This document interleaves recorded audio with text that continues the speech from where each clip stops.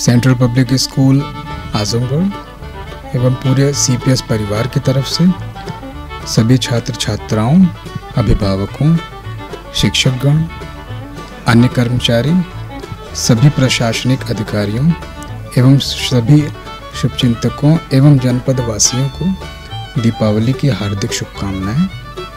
इस शुभ अवसर पर ईश्वर से प्रार्थना है कि हम सभी इस पवित्र त्यौहार को हर्षोल्लास के साथ मनाएँ एवं सुरक्षित रहें, स्वस्थ रहें। एक बार पुनः आप सभी को दीपावली की हार्दिक शुभकामनाएँ।